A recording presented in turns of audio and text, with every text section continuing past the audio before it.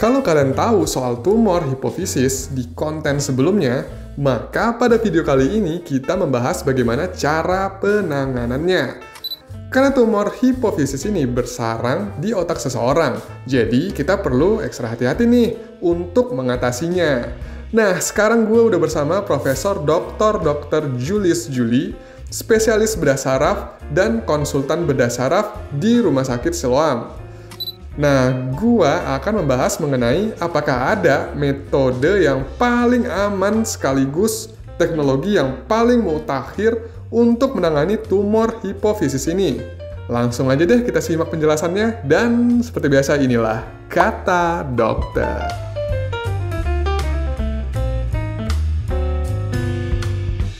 Uh, penanganannya pertama kita harus pastikan dulu memang ini adalah adenoma hipofisa. Diagnosa gold standarnya itu adalah MRI, kepala dengan kontras. Pada potongan uh, sagital, ya nyamping, sama koronal depan belakang, uh, kita bisa lihat posisi dari tumor ini terhadap struktur penting lainnya, termasuk saraf mata. Ya. Kalau sudah terbukti memang ini adalah adenoma, yang terbaik dalam pengobatannya itu ya adalah operasi. Nah, karena operasinya sederhana. Ya. Terkecuali ya, terkecuali ada entiti tertentu hanya satu ini yang tadi saya sebut itu menghasilkan susu prolaktin ya prolaktinoma. Nah, ini perlu uh, pemeriksaan yang lebih lanjut karena pertimbangan-pertimbangan itu penting ya. Biasanya wanita dengan tumor ini umumnya mandul karena haidnya tidak teratur. Ya, karena tubuh itu mengkondisikan dia seperti menyusui.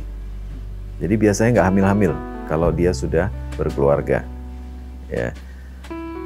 Nah, pada keadaan tumornya kecil, ukurannya kecil, masih terlokalisasi di daerah uh, kelenjarnya itu punya potensi untuk sembuh. Biasanya kita anjurkan operasi. Ya. Tapi kalau tumornya sudah besar, kita justru uh, tahu bahwa itu mungkin tidak bisa bersih kalaupun dioperasi. Maka anjurannya adalah minum obat. Karena dengan obat satu-satunya tumor yang bisa minum obat lalu tumornya bisa menciut. Nah, itu prolaktinoma. Ya. Kalau yang lain, jenis-jenis yang lain, ya adenoma yang lain itu jalan terbaik itu adalah operasi. Karena operasi itu 85% lebih satu kali operasi sudah cukup dan bisa sembuh total. Jadi ini sudah menjadi prosedur rutin sehingga uh, metode konvensional uh, terdahulu sudah ditinggalkan. Uh, sudah ditinggalkan. Di banyak negara sudah hampir nggak pernah dilakukan yang konvensional. Eh, walaupun secara sporadik tempat-tempat tertentu masih ada yang ngerjakan karena untuk melakukan operasi endoskopi ini kan perlu uh, jam terbang dan waktu belajar. Jadi kadang-kadang uh, perlu usaha dan upaya dari dokter bedahnya sendiri untuk belajar membiasakan diri. Operasi dari yang ruangannya besar menjadi kecil ya. Nah, jadi operasi di dalam rongga yang demikian sempit itu perlu uh, membiasakan diri dengan teknik yang aman. Tentu keuntungannya lebih banyak pada pasiennya.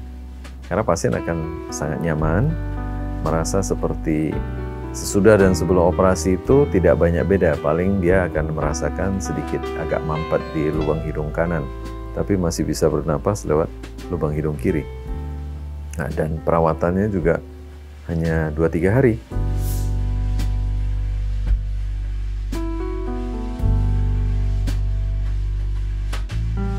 Jika tumornya itu tumbuh membesar dan ke samping terlalu jauh, ya tentu tidak bisa. Ya, tidak bisa karena dibatasi oleh dua pembuluh darah besar Nah, kita tidak boleh paksakan diri juga ke samping. Tapi umumnya bisa kita lakukan lewat lubang hidung. Kalau di rumah sakit ini, sedapat mungkin semua dilakukan lewat lubang hidung. Sisanya nanti yang ke samping, nanti operasi tahap berikutnya. Kalau memang tumornya sudah terlalu besar. Kadang-kadang operasi untuk tumor yang besar itu tidak bisa kita selesaikan dalam satu tahap karena berbahaya. Itu demi kebaikan pasiennya. Karena kalau kita paksakan diri, cedera yang dialami oleh pasien itu banyak, sehingga pemulihannya justru jadi lama.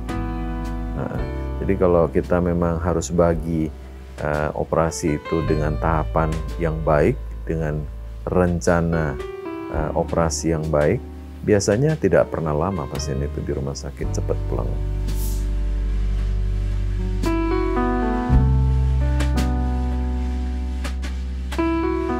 Uh, komplikasi uh, selalu mungkin terjadi, tetapi kecil sekali. Makin berpengalaman dokter mengerjakannya, uh, komplikasi itu makin sedikit. Jadi kita sudah punya pengalaman itu dari tahun 2008 ya. Jadi kalau kita lihat data-data komplikasi yang ada uh, sampai saat ini itu justru banyak terjadinya komplikasi itu di tahun-tahun pertama kedua pada saat kita mulai lakukan teknik ini. Jadi di 2009 ya, 2010 itu terlihat komplikasi itu jauh berbeda dengan sekarang. Jadi kalau sekarang itu kalau kita total semua komplikasi mulai dari 2008 sampai saat ini resiko untuk komplikasi ya 1 sampai 3 persen. Tapi yang 1 sampai 3 persen ini terjadi di dua tahun pertama. Jarang sekali kita menghadapi komplikasi karena menurut saya ini operasi tekniknya sangat aman. Jadi kalau kita bisa melakukannya dengan sangat hati-hati, gentle, halus. Uh, keuntungannya ada pada pasien. Jadi pasien akan cepat pulang dan tidak ada komplikasi.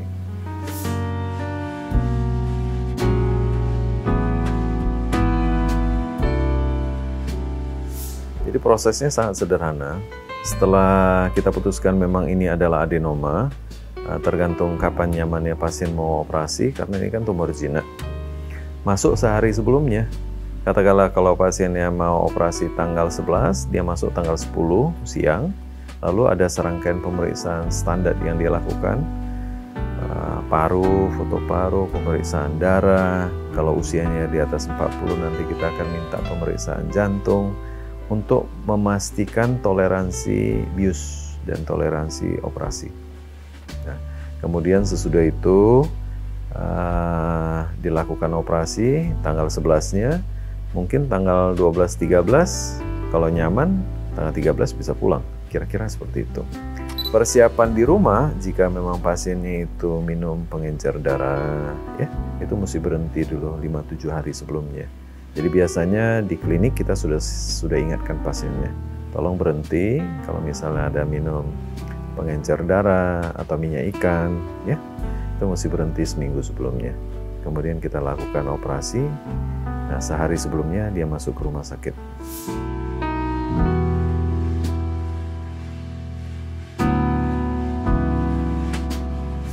jadi ada sekitar 15% dari tumor ini yang bisa tumbuh kembali jadi umumnya 85% itu tuh dengan sekali operasi itu kalau dia memang sifatnya tidak mau tumbuh lagi ya tidak akan tumbuh lagi. Jadi semua itu lebih banyak berbalik kepada jenis tumor itu sendiri. Kadang-kadang sifat sel itu molekulernya terutama itu akan menentukan apakah tumor ini akan tumbuh lagi atau tidak. Di samping yang mungkin pada saat operasi itu ada sisa. Nah, bahkan yang ada sisa pun kalau dia tidak akan tumbuh lagi, Kadang-kadang di observasi bertahun-tahun dengan MRI periode setahun sekali itu tidak menunjukkan pertumbuhan. Jadi ada pasien yang sudah 10 tahun dengan ada sisa tumor sedikit tidak pernah tumbuh. Walaupun tiap tahun kita MRI.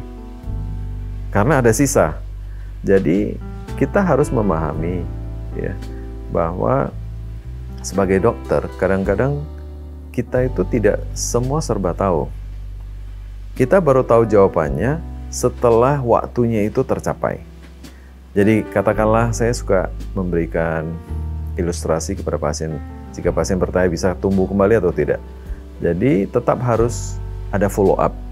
Habis operasi tiga bulan MRI, lalu setiap tahun MRI di lima tahun pertama, setelah itu 2-3 tahun sekali sampai nanti dia uh, lewat 10-15 tahun bisa lima tahun sekali.